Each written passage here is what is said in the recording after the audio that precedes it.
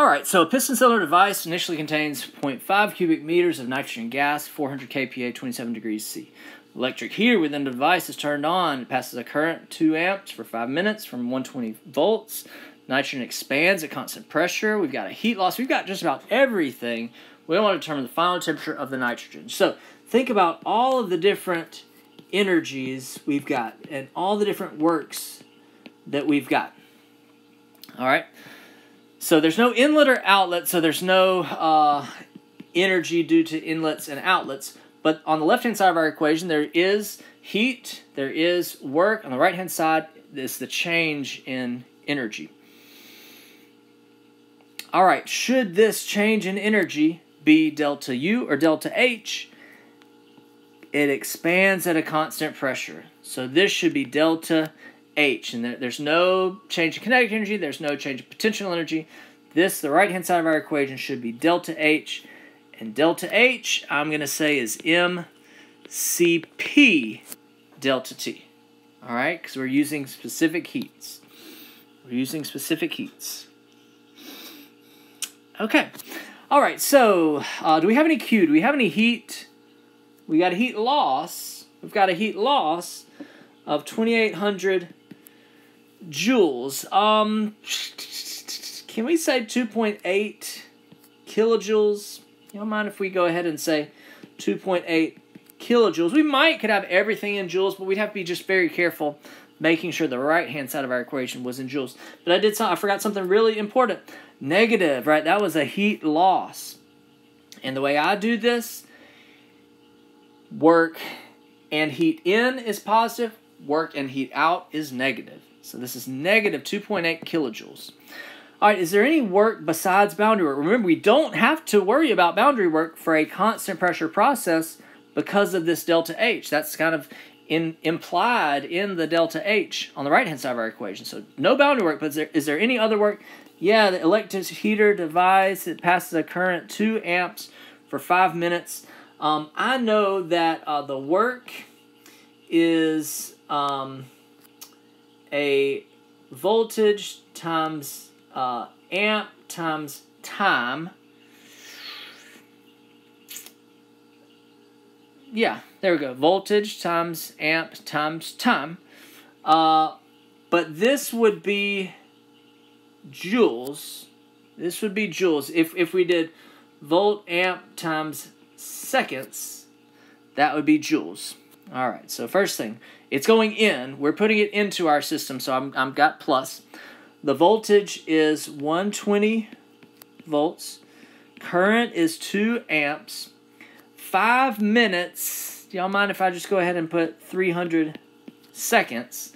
Volt amp seconds, that's joules, divided by 1,000, and that is kilojoules. Divided by 1,000, and that is kilojoules. All right, that's what we got on the left-hand side of our equation. On the right-hand side of our equation, we've got mass. Did it tell me the mass?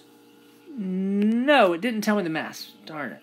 All right, we'll come back to that. What is the CP for nitrogen at 27 degrees C, which is 300 Kelvin? So go to property tables. We're in SI units. Go to table A2. Uh, that's at 300 Kelvin.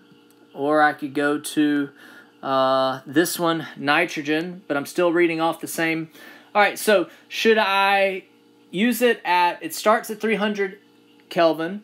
Uh, it goes to, I don't know what it goes to, so I can't use it at T average. So let me just use it at the beginning. This is what I want you to do. The book might tell you differently. I want you to, to use it at T1. And if your T2 is, is wildly different from T1, then redo the problem looking at kind of an average temperature between what you got. Uh, but nitrogen 300, uh, let's see. Oop, oop, oop. Do I need CP or CV? This was a constant pressure process. I'm looking for delta H. I need CP. So I'm going to use 1.309 units or kilojoules per kilogram K. So here we go. 1.039 kilojoules per kilogram K. uh, times delta T.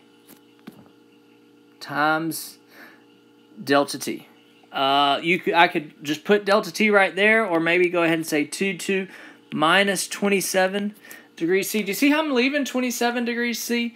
Uh, even though this says Kelvin, because this is a change in temperature, as long as both of those temperatures are in Celsius, it doesn't matter if both of them are in Celsius or both of them are in Kelvin, it's the same change in a temperature.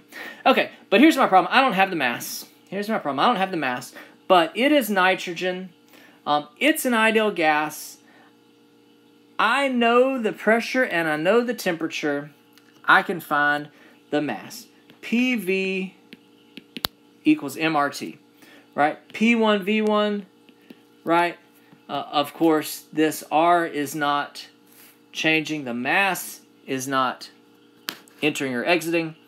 So I can find the mass this way. The pressure was 400 kPa. The volume 0.5 meters cubed. The R for nitrogen, go back to table 1, 0.297 kPa meters cubed per kilogram K and the temperature, this is where I do definitely need to change that 27 degrees C plus 273 to change it from Celsius to Kelvin because that's not a delta T, that's a T, right? If it's a delta T, I don't have to change it. If it's a just a T, I do have to change it.